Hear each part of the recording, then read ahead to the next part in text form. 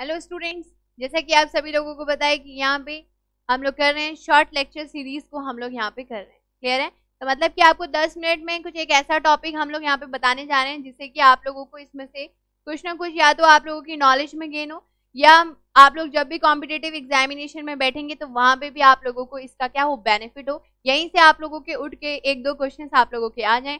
और जिससे आप लोगों को क्या हो, इससे बेनिफिट देखने को मिले। तो यहाँ पे देखिए, अगर हम लोग बात करें तो आज हम ये शॉर्ट लेक्चर सीरीज़ में हम लोग देख रहे हैं कि आप लोगों का डब्ल्यू एस एम हो गया वर्किंग स्ट्रेस मेथड आपका लिमिट स्टेट मेथड हो गया और अल्टीमेट लोड मेथड की हम बात कर रहे हैं। क्योंकि देखो, इस तरीके के जो क्वेश्चंस होते हैं जनरली आप लोगों के इंटरव्यू में भी पूछे जाते हैं तो इसको हम लोग यहाँ पे कवर अप कर रहे हैं। अब देखिए स्टार्ट करते हैं। तो इसमें हम लोग देखें तो देखो डब्ल्यू एस एम की अगर हम बात करें वर्किंग स्ट्रेस मेथड की तो जो भी हमारा डिज़ाइन लोड होता है, जब भी हम वर्किंग स्ट्रेस मेथड से डिज़ाइन करते हैं आरसीसी की बात हो रही है तो जो भी हमारा डिज़ाइन लोड होता है, वही हमारे वर्किंग लोड के इक्वलेंट होता है और वही हमारे उसी को ही हम लोग सर्विस लोड बोलते हैं। कहने का मतलब जो सर्विस लोड है, वही वर्किंग लोड है और वही हमारा क्या है डिज़ाइन लोड है। इसमें हम किसी भी फैक्टर से मल्टीप्लाई नहीं कर रहे हैं।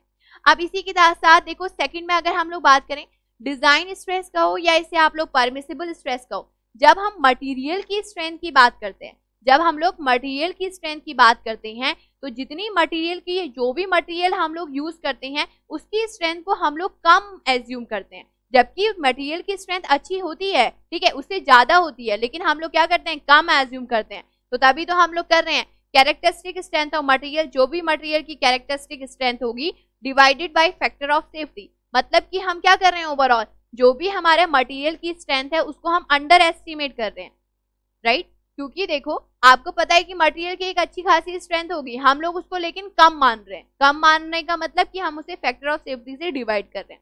इसी के साथ, ये बहुत इंपॉर्टेंट है, आप लोगों के एग्ज़ाम में बहुत पूछा जाता है कि अगर हम डब्ल्यू एस एम के अकॉर्डिंग कहें तो फैक्टर ऑफ़ सेफ्टी कॉन्क्रीट के लिए क्या होती है? और स्टील के लिए क्या होती है? अगर हम कंक्रीट की बात करें तो फैक्टर ऑफ़ सेफ्टी आपकी थ्री होती है और इसी तरीके से अगर हम स्टील की बात करें तो फैक्टर ऑफ़ सेफ्टी हमारी 1.78 होती है। अब देखो, यहाँ से दो हमारे कंक्लूजन निकल के आते हैं।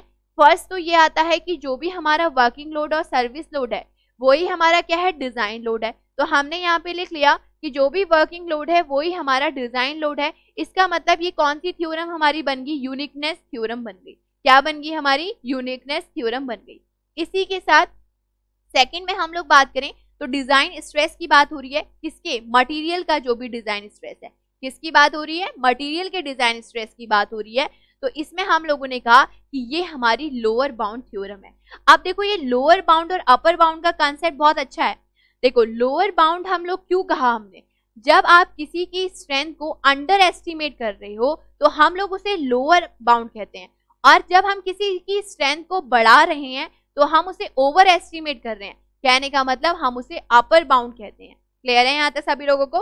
तो देखो डिज़ाइन स्ट्रेस में हम लोगों ने कहा कि जो भी हमारा ये मटेरियल का डिज़ाइन स्ट्रेस है, हम लोगों ने क्या करा? जो भी हमारा मटेरियल का डिज़ाइन स्ट्रेस है, उसको कम माना। क्योंकि तभी तो हम फैक्टर ऑफ़ सेफ्टी से डिवाइड कर रहे हैं। इसी के साथ देखो, यहाँ से हम लोगों ने क्या करा? कहने का मतलब कि मटेरियल की स्ट्रेंथ को अंडर एस्टिमेट करा। वो मटेरियल हमारा ऐसा था कि वो अच्छी स्ट्रेंथ ले सकता था, लेकिन हमने ही उसकी स्ट्रेंथ को कम एज्यूम कर लिया। इसका मतलब कि मटेरियल की स्ट्रेंथ को हम अंडर एस्टिमेट कर रहे हैं। मैंने यहाँ पे हिंदी में भी लिखा है, जिससे कि आप लोग को दिक्कत ना हो, कि मटेरियल की स्ट्रेंथ को हम लोग अंडर एस्टिमेट कर रहे हैं। इसी कारण से जो डिज़ाइन स्ट्रेस हमारा मटेरियल का होगा, ये हमारा लोअर बाउंड थ्योरम के अंदर आएगा। किसके अंदर आएगा? लोअर बाउंड लोअर बाउंड का मतलब कि किसी भी चीज़ की स्ट्रेंथ को आप लोग अंडर एस्टिमेट कर रहे हैं। अपर बाउंड का मतलब कि किसी भी की स्ट्रेंथ को हम लोग बढ़ा रहे हैं, इसका मतलब हम ओवर एस्टिमेट कर रहे हैं। अब देखो, ये तो बात रही हमारी वर्किंग स्ट्रेस की। सबसे पहले हमारे पास वर्किंग स्ट्रेस मेथड आई थी आरसीसी में देन उसके बाद हमारे पास आई अल्टीमेट लोड मेथड कौन सी मेथड आई आपके पास? अल्टीमेट लोड मेथड अब देखो अल्टीमेट लोड मेथड में बताएँ तो डिज़ाइन लोड जो आप लोगों का होगा, उसको अब हमने बढ़ा दिया है। अब हम जितना हमारा वर्किंग लोड है उसको हम लोग बढ़ा दे रहे हैं। कहने का मतलब हमने लोड फैक्टर से मल्टीप्लाई करा दिया वर्किंग लोड का। तो ये हमारा डिज़ाइन लोड हो गया। इसी के इम्प्रूवमेंट में आई। अब डिज़ाइन लोड को तो ये एज्यूम करा। लेकिन क्या हुआ? जो डिज़ाइन स्ट्रेस है मटेरियल का, उसको हम लोगों ने सेम इसी की तरह एज्यूम करा कि जो भी स्ट्रेंथ होगी कैरेक्टरिस्टिक स्ट्रेंथ होगी मटेरियल की divided by factor of safety मतलब कि हमने मटेरियल की स्ट्रेंथ को यहाँ पे कम एज्यूम कर लिया, लेकिन हमने लोड को क्या कर दिया? बढ़ा दिया। लोड को हमने कहा कि लोड हमारा जितना आ रहा है, उससे ज़्यादा आ रहा है, हमने ऐसा एज्यूम करा। तो इसी के साथ अगर हम बोले, अगर यहाँ से देखें तो क्या कंक्लूजन निकलता है आप लोगों का? कंक्लूजन यहाँ से हमारा ये फाइंड आउट होता है कि जो हमारा यहाँ पे डिज़ाइन लोड है, क्योंकि डिज़ाइन लोड को हम लोग ज़्यादा एज्यूम कर रहे हैं लोड फैक्टर से मल्टीप्लाई करके इसका मतलब कि डिज़ाइन लोड को हम लोग क्या कर रहे हैं? ओवर एस्टिमेट कर रहे हैं। जितना लोड हमारा आ रहा था, हम उससे क्या कर रहे हैं? ज़्यादा आप लोग मान रहे हो। इसका मतलब हम इसे ओवर एस्टिमेट कर रहे हैं। तो ओवरऑल ये कौन सी थ्योरम में आ गया? अपर बाउंड में आ गया। इसके बाद मटेरियल स्ट्रेंथ तो सेम हमारा उसी की तरह, जैसे डब्ल्यूएसएम में था। तो मटेरियल स्ट्रेंथ में क्या आ गया? ये लोअर बाउंड आ गया।